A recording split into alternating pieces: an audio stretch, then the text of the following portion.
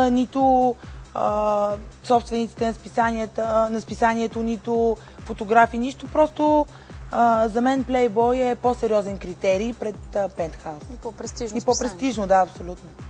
Аз забелязвам, че ти имаш обица на езика. а, много мъже са ми казвали, че предпочитат френската любов с жена, която има обица на езика. Обица на езика. Еми, мила да ти кажа. Те казва ли са ти, че е по-хубаво, когато им правиш френска любов, докато си с тази обица или? Значи аз Това са слухове просто. Беше ми, беше ми много интересно, след като сложих обицата, какво ще бъде отношението, нали, а, реакцията а, на мъжа, който, който беше тогава до мен. И да ти кажа, всичко е въпрос на, на психика. Според мен няма значение. Верно, нали, по, по-сексисто и по-еротично, но не, не е толкова голяма е, не му ли е било по-приятно чувството някакси? Еми, чувството е по-различно, да, определено е по-различно, но чак пък да е нещо, кой знае какво, не, не мисля. кой е най-известният български мъж, който те е свалял? Е, кой, кой? Айде да ни цитирам имена, може ли? Е, сега се питам кой е ти, ако не ми кажеш име. Не, не, не мога, предпочитам да не коментирам този въпрос. Че не, не е много нормално. А, в смисъл, женене, предполагам. Женене, да, женене. И, и не е случайен човек, тъй че не искам да споменавам името му тук. Ох, то май по-добре да не се женим в днешно време. Ти, ти по принцип с женени мъже спала ли си? Да, спала съм и не се срамувам от това. Добре, какво е отношението ти на тези женени мъже? Аз напоследък забелязвам, че има страшна тенденция. Мода като че ли. Всеки женен мъж да има любовница, още една любовница, пък да излиза с трета, в същото време една жена да го чака вкъщи. Какво е отношението ти към тези мъже? Отношението ми е такова, че а, аз моите наблюдения са такива, ако питаш мен, аз никога не бих се оженила. Често ти казвам, да, понеже ги виждам мъжете ходят, обикалят, търсят си нови жертви. Аз не искам моят мъж да бъде такъв. И някак си е много а, гадно е за, за жената до тях. Кажи ми, предлагали ли са ти групови изпълнения? Да, предлагали са ми. предлагали са ми много пъти и, и не знам защо. А, повече от мъжете, с които съм била, сексуално имам предвид, казва, че докато с мен ги избива на агресия. На агресия? Да, не знам защо. Може би ги възбуждаш много. Може би да. И, и съм имала такива случаи. Казвам, добре, защо обясни ми, нали? Дай ми едно нормално, логично обяснение. Бе, не знам. Да. Избиваме на агресия. Е, какво значи на агресия? Да не те бия, докато правят секс те? Аз, понеже си обичам малко... Садомазо. Да, садомазо по-вулгарните изпълнения. Не съм в никакъв случай по нежната любов. И може би това ги кара на мисълта, че мога да се съглася. Да, да, мога да съглася и на нещо повече. След това признание Гери определено си умножи феновете. Кажи ми, вярно ли според теб, че всек, всяка корона в България се плаща? Ами... Аз, който ми е гостувал, всеки ми казва, не, не е вярно, аз печелих без да си платя. А, но в крайна сметка, други са фактите и други неща се говорят.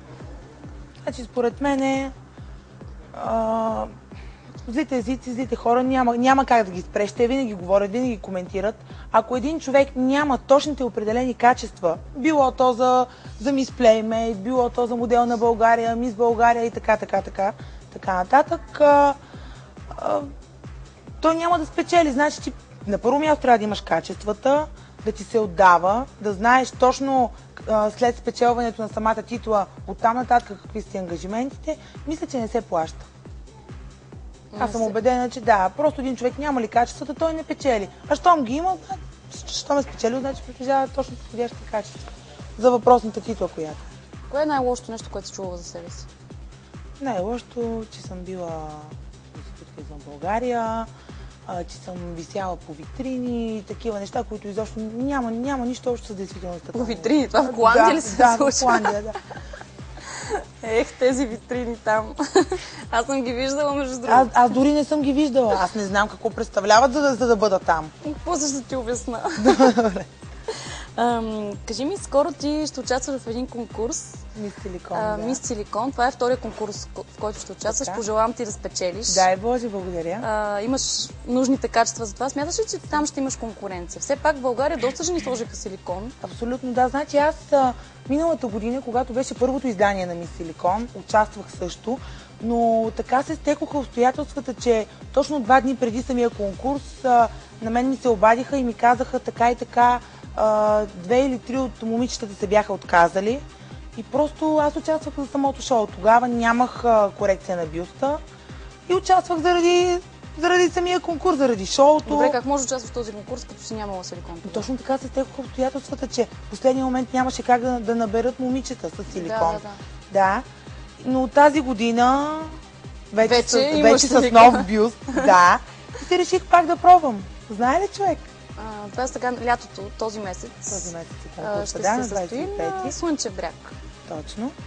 Пожелавам ти наистина да го спечелиш. Благодаря. А кажи ми, освен на тази корекция, която сега си направила, друго нещо по себе си би ли пипнала?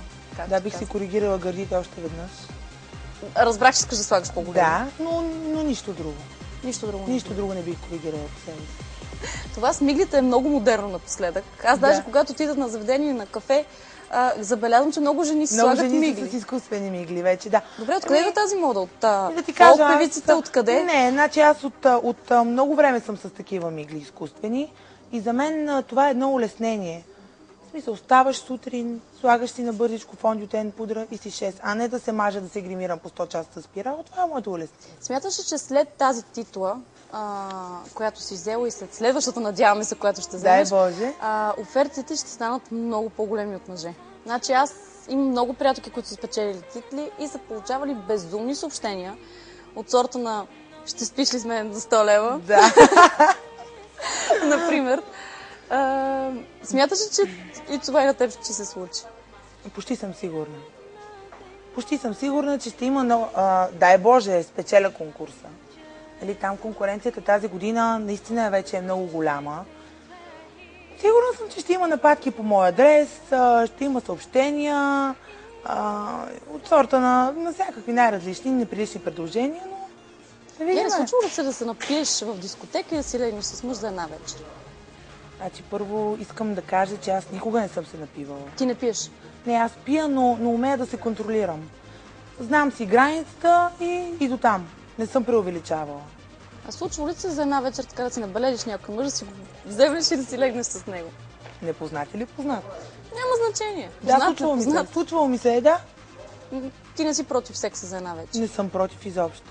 Аз нямам такива скруполи а, от сорта на аз не съм такава или аз това нещо не бих го направила. Да, правила съм го, не съм против хората, които го правят.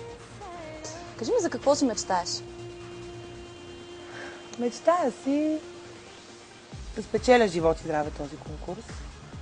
А, от тук нататък да има повече предложения за фотосесии, за, а, за реклами, да, да ми се набива лицето повече. Да станеш Да, звезда. да, да, аз съм малко ли много вече си ме познават хората, но колкото повече, толкова повече. Разбира се. Абсолютно. Е. Дай Боже някоя корица. Дай Боже някоя корица. Когато има корици, знаеш, че хората стават много, Корицата много вече, по-популярни. да, да. Сега искам ти нещо да пожелаеш на нашите зрители, защото все пак разполагаме с много малко време тук. Значи искам да пожелая на зрителите на Неудобно да са живи и здрави преди всичко, да не се срамуват от неудобните въпроси на Ива и винаги да бъдат себе си. Това е. Това беше за днес. Знаете, че дори да сте пропуснали това интервю, то винаги стои в нашия сайт и е на ваше разположение. Очаквам предложенията ви за гости на моя имейл iva.donчертата.mаймункбв.bg Сега ви оставям да се любовате на прекрасното време и ви желая много любов през уикенда.